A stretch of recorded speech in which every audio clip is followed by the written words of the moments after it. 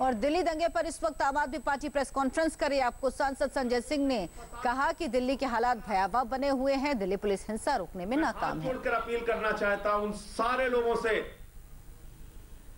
जो कहीं ना कहीं इस दंग, दंगा भड़काने की मुहिम में शामिल हैं। वो चाहे किसी भी संगठन किसी भी दल का व्यक्ति हो कृपा करके दिल्ली को बर्बाद होने से बचाइए। ये सब मत कीजिए। दंगों के घाव दिलों पर सालों साल रहते हैं। बर्बाद मत कीजिए दिल्ली को। गृह मंत्री अमित शाह जी, जागिए आप। आप मीटिंग बुलाते हैं सरदली बैठक की औपचारिकता मात्र पूरी करते हैं। और आपकी पार्टी के नेता क्या कर रहे हैं? कपिल मिश्रा खुलेआम दंगे भड़काने की बात कर रहा है।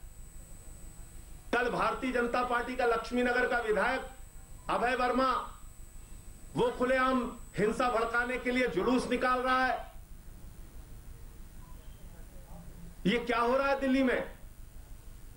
ये भारतीय जनता पार्टी का दोहरा चरित्र क्यों कि एक तरफ़ गृह मंत्री मीटिंग करते हैं हाई लेवल और दूसरी तरफ़ उनके नेता भड़काने की कोशिश करते हैं? उनकी एक महिला विंग की सोशल मीडिया की इंचार्ज है, वो लिखती है अपने सोशल मीडिया पे ट्विटर पे लिखती है कि दिल्ली के लोगों, फ्री बिजली, फ्री पानी की कितनी भारी कीमत तुमको चुकानी पड़ रही है? यह भाजपा की भाषा है। इसका मतलब अगर एक सरकार लोगों को राहत देने का काम करेगी, उसके आधार पर चुनी जाएगी तो आप दंगे कराओगे, फसाद कराओगे, और लोगों को धमकी दोगे कि यह कीमत तुमको चुकानी पड़ रही है।